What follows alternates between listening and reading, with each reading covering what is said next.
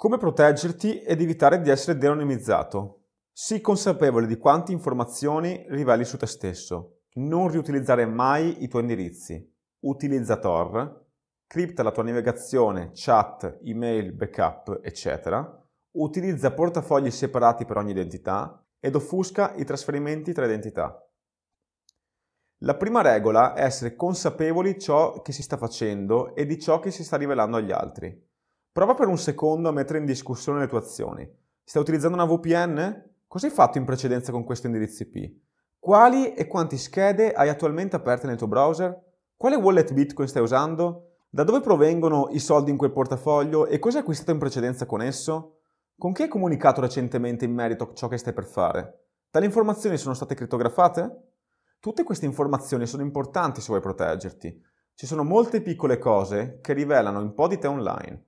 Ti spiegherò come proteggerti al meglio ed evitare che i tuoi metadati vaghino in giro per il mondo.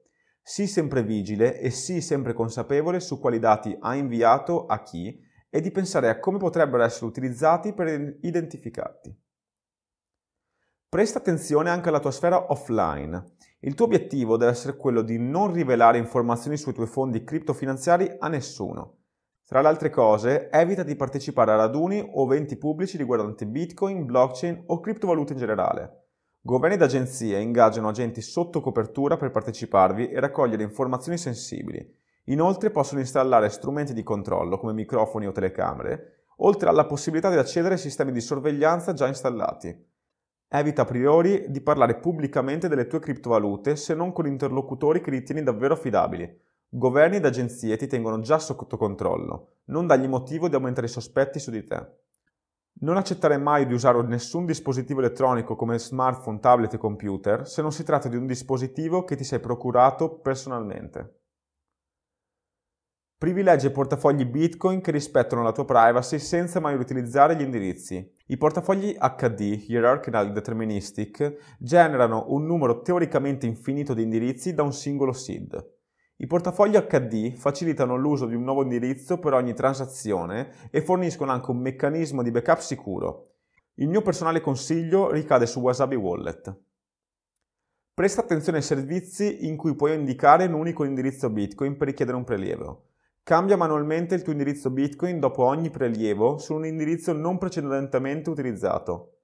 Incoraggia gli altri a cambiare i loro indirizzi dopo ogni utilizzo, poiché le loro pratiche influenzeranno la tua privacy mentre interagisci con loro. Utilizza Tor. Per mantenere il tuo anonimato, utilizza il browser Tor o il sistema operativo Tails quando ti avvali di servizi che necessitano alti standard di sicurezza e privacy. Cerca di installare tutto tramite Tor di default. Configura i tuoi portafogli per connettersi alla rete Bitcoin tramite la rete Tor. È possibile far ciò installando Tor Browser e configurando il proxy in Preferenze, Avanzate Rete, Impostazioni.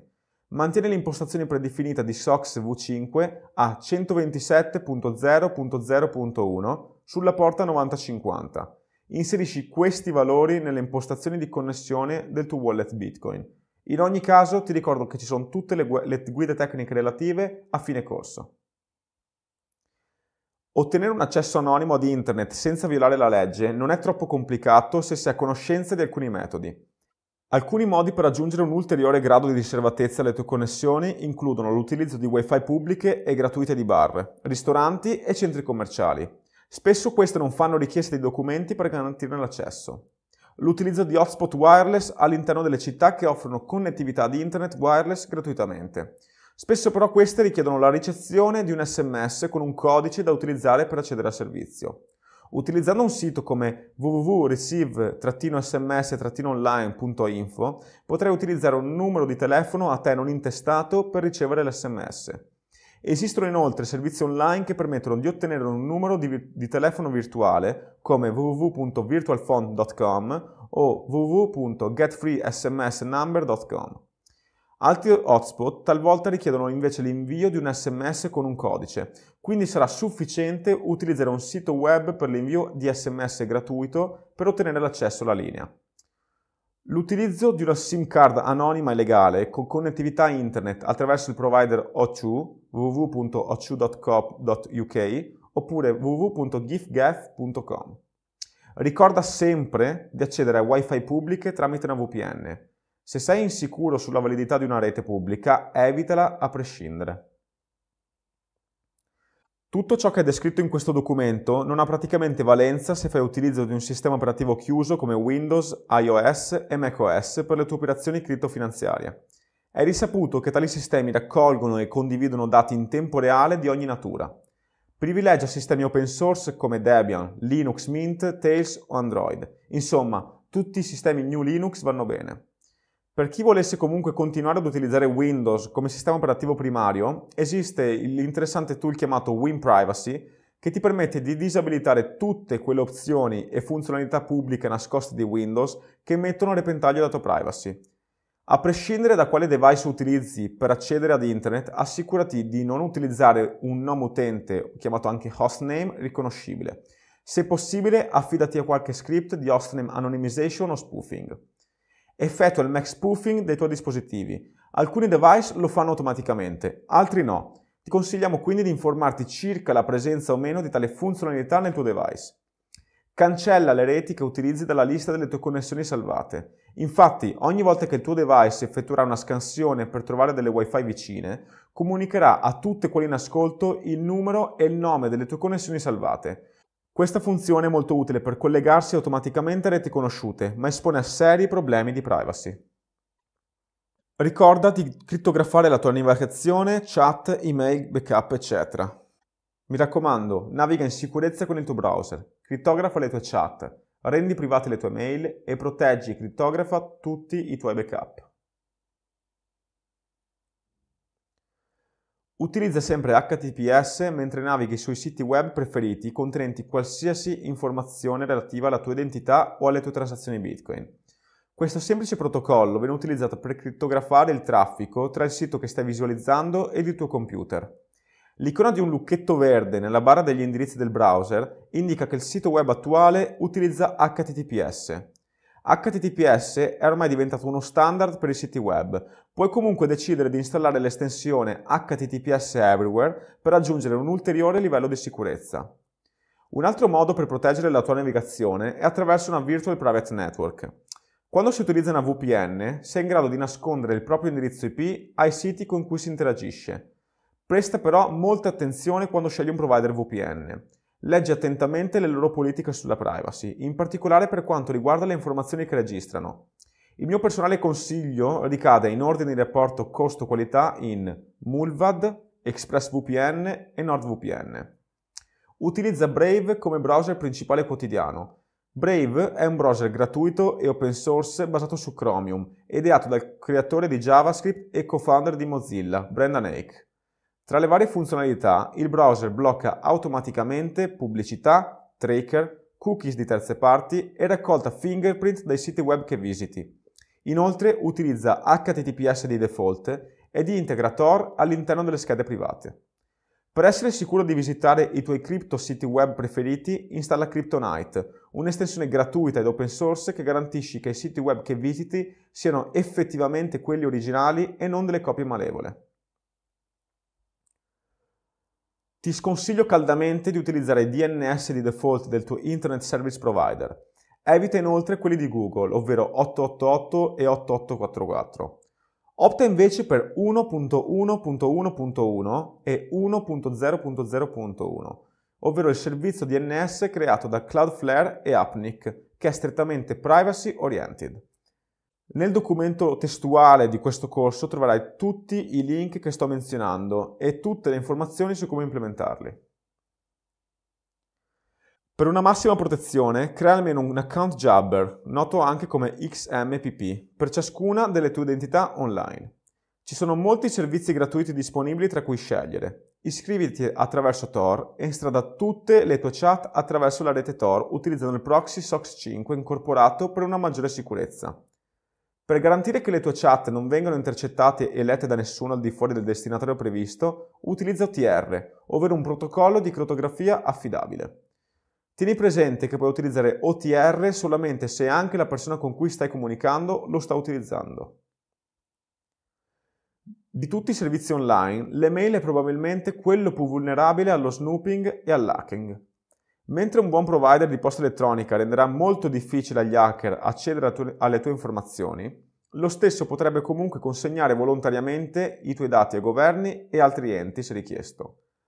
Sfortunatamente, per le persone che cercano una maggiore privacy, diversi provider di posta elettronica rendono difficile, se non impossibile, l'accesso alla tua mail tramite Tor.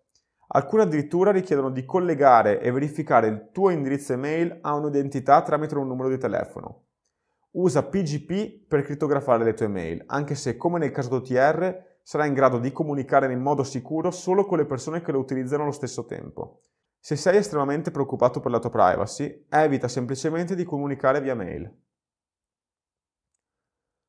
Le modalità con cui esegui il backup dei tuoi bitcoin dipende dal software che stai utilizzando. I wallet HD ti offrono una serie di parole casuali, il SID, che possono essere utilizzate per rigenerare il tuo portafoglio ovunque e in qualsiasi momento. Tutto ciò che devi fare è copiare e scrivere quelle stesse parole e tenerle in un posto sicuro. Presta però molta attenzione. Il SID è molto utile, ma permette a malintenzionati di avere tutto il patrimonio in Bitcoin semplicemente entrando in possesso della serie di parole. Sconsiglio caldamente di archiviare il SID su un qualsiasi dispositivo elettronico perché è vulnerabile e facilmente attaccabile, ma in assenza di uno spazio fisico sicuro potrebbe essere inevitabile. Il modo più semplice per crittografare e mettere in sicurezza le parole casuali generate dal tuo portafoglio HD o qualsiasi altro testo o password che hai bisogno di rendere sicuri è tramite Pretty Good Privacy. Utilizzare PGP però comporta un ulteriore backup di PGP stesso. Crittografando la tua chiave PGP con una buona password potrai accedere a tutti i tuoi file attraverso quell'unica parola o serie di parole. Ti consiglio di controllare le, le guide tecniche in fondo al corso per scoprire come creare una passphrase sicura. Ricapitolando, utilizza una password per crittografare la chiave PGP, quindi esegui il backup di tutti gli altri file crittografandoli con la chiave PGP crittografata. Ti sei mai accorto che negli ultimi anni stanno scomparendo le prese elettriche di ricarica per dar spazio alle prese USB? Quante volte ti sei collegato ad una presa pubblica come quelle presenti nelle grandi catene di negozi, negli aerei, nei treni o nei centri delle città? Ecco, d'ora in poi evita di far ciò perché il rischio di collegarsi da una stazione di ricarica spia o contenente malware è estremamente alto. Un data blocker previene lo scambio accidentale di dati quando un device come un computer, tablet o smartphone è collegato ad un altro computer o ad una stazione di ricarica pubblica. Lo scopo di un data blocker, chiamato anche USB condom, è quello di bloccare lo scambio di dati su qualsiasi cavo USB, consentendo il solo passaggio di corrente. Ciò minimizza il rischio di furto di dati sensibili, aumentando contemporaneamente la sicurezza e privacy di qualsiasi dispositivo collegato. Gli attacchi via USB maggiormente conosciuti comprendono il juice jacking, il wire malware contro gli smartphone e il bad USB threats contro smartphone e computer. I data blocker che consiglio sono il Thesis Data Blocker che è disponibile su Amazon, il SyncStop che è disponibile sullo, sto- sullo shop originale di SyncStop ed EDEC che è disponibile nello shop originale di EDEC Digital Forensics. La privacy parte dai dispositivi che utilizziamo per effettuare transazioni. Per evitare che una transazione e-wallet venga collegata ad un'identità è bene fare uso delle famose webcam cover ovvero una serie di oggetti pensati per oscurare le webcam dei notebook e le camere presenti in smartphone e tablet. Questo permette, nel caso che un nostro particolare device sia spiato, di aggiungere un ulteriore livello di privacy. Password sicure e crittografia contribuiscono a mantenere privati i tuoi dati, allo stesso tempo, i filtri per webcam ci mettono al riparo da possibili spie online, ma tali strumenti non possono impedire a qualcuno di fare una cosa così semplice come scrutare lo schermo da dietro le spalle, o peggio, di scattare una foto del nostro schermo e su ciò su cui stiamo lavorando. Si chiama visual hacking ed è una seria minaccia alla sicurezza che aziende e privati non dovrebbero assolutamente ignorare. Per fortuna c'è una soluzione economica e semplice, i privacy filters, i filtri per la privacy aderiscono allo schermo di un laptop e limitano notevolmente l'angolo di visione, in modo che solo la persona seduta da direttamente davanti allo schermo possa vedere ciò che è proiettato. Chiunque cerchi di dare una sbirciatina ai lati o in alto vedrà solo uno schermo nero. I filtri per la privacy sfruttano una tecnologia estremamente semplice. Sono costituiti da un foglio di plastica polarizzato. La polarizzazione funziona come un filtro ottico che blocca la luce da determinati angoli, in questo caso tutti gli angoli tranne quello davanti allo schermo. È la stessa tecnologia utilizzata per gli occhiali da sole polarizzati ed alcuni tipi di obiettivi per le fotocamere. In questo caso ti consiglio di cercare su Amazon quello dato la grandezza del tuo schermo, preferendo i filtri della 3M. È estremamente facile utilizzare un wallet Bitcoin diverso per ciascuna delle tue identità online. Potresti avere un portafoglio per ogni esigenza, ad esempio potresti utilizzare un portafoglio per le donazioni, un portafoglio per la tua vera identità, un portafoglio per le entrate della tua pubblicità e un portafoglio per i tuoi risparmi. Non è necessario scaricare software separati per ciascuna identità. Tutto quello che devi fare è tenere separati i file del wallet, in particolare quei file che contengono le tue chiavi private e pubbliche. Assicurati solo di non confondere i file tra di loro e di non mescolarne i fondi. Ogni volta che avrai bisogno di spostare fondi tra le tue identità, dovrai cercare di nascondere il percorso effettuato per rendere difficile per chiunque collegare le tue identità tra di loro. Quando si pensa al sistema finanziario tradizionale, le parole offuscamento, tumbler o mixing sembrano attività per criminali. A causa della natura trasparente di Bitcoin, le transazioni commerciali potrebbero richiedere una qualche forma di offuscamento per proteggere i segreti e le pratiche commerciali. Un bonifico bancario da una persona a un normale conto non dovrebbe essere rilevato a terze parti non coinvolte. Né il cliente o i concorrenti dovrebbero scoprire come vengono utilizzate le entrate. Senza offuscare le transazioni, riveliamo inevitabilmente molto di più di quanto dovremmo. Quindi far ciò dovrebbe essere pratica comune per garantire che il tuo portafoglio Bitcoin sia privato come dovrebbe essere.